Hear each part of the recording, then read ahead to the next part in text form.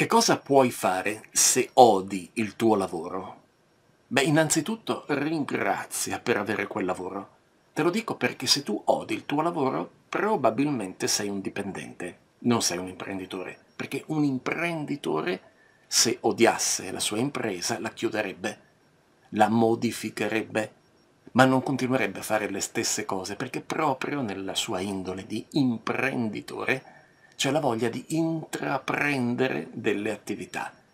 E quindi quando si trova di fronte a un ostacolo, l'imprenditore non si ferma a odiare l'ostacolo, ma si muove per risolvere l'ostacolo. Ecco perché suppongo, e correggimi se sbaglio, suppongo che se odi una situazione, in particolare in questo caso il lavoro, è perché ti consideri dipendente di qualcun altro, un po' come un cittadino che odia il suo governo perché non si assume la responsabilità di fare parte del governo.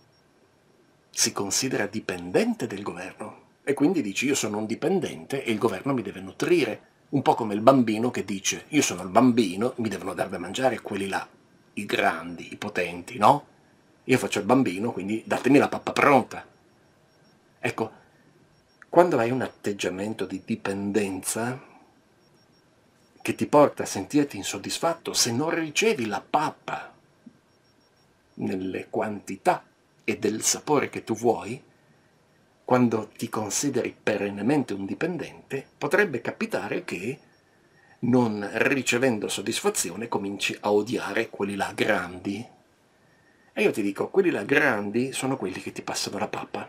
Che tu sia un lavoratore, che tu sia un cittadino, che tu sia un bebè, se ti senti dipendente, incapace di partecipare alla conduzione della cosa, ringrazia che ci sia qualcuno che si occupa della conduzione della cosa.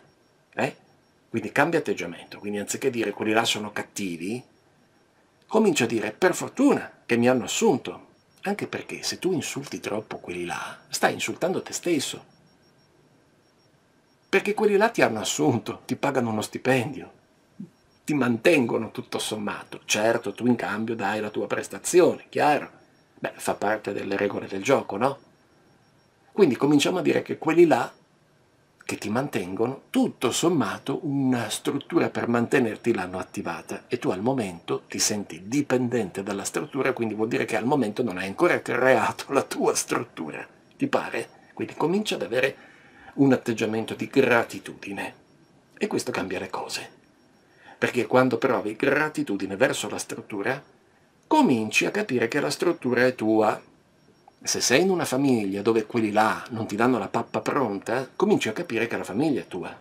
Se sei in un paese dove quelli là non ti danno il governo, cominci a capire che tu puoi partecipare alla vita politica del tuo paese e potresti darti una mossa con delle proposte costruttive all'interno del vivere civile.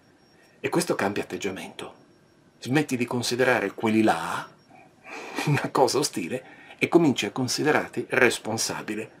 E quando sei responsabile, allora ti rimbocchi le maniche. Non hai più il privilegio di fare la vittima dicendo che quelli là sono cattivi, perché a quel punto ci sei anche tu. Nel consiglio di amministrazione sei anche tu nella sala bottoni. E allora anche tu sei responsabile di quello che succede. Il passaggio successivo è sviluppare quanto ti ho detto, cioè sviluppare la gratitudine.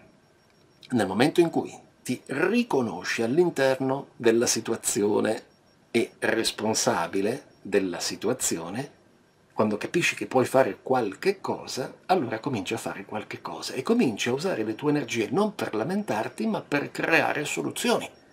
In buona fede, senza polemica, senza ironia. Quindi non c'è il confronto, come fanno certi comici che vivono semplicemente scavando nel marcio, dicendo eh, guarda che marcio, e loro se ne stanno fuori. Eh? Questi comici, come sono spiritosi, sono immaturi, perché continuano a considerarsi bebè che vogliono la pappa pronta e alzano la manina in modo buffo, ecco perché li chiamano comici, in modo buffo per dire la pappa non è buona. Beh, allora vai in cucina e prepara la pappa. Eh? Passa da livello comico a livello adulto. Eh? Bene. Allora, gratitudine, parti da qua. Sei in una struttura malandata. Ci sta, ci sta che sia malandata. Ci sta che tu lo riconosca e allora migliorala.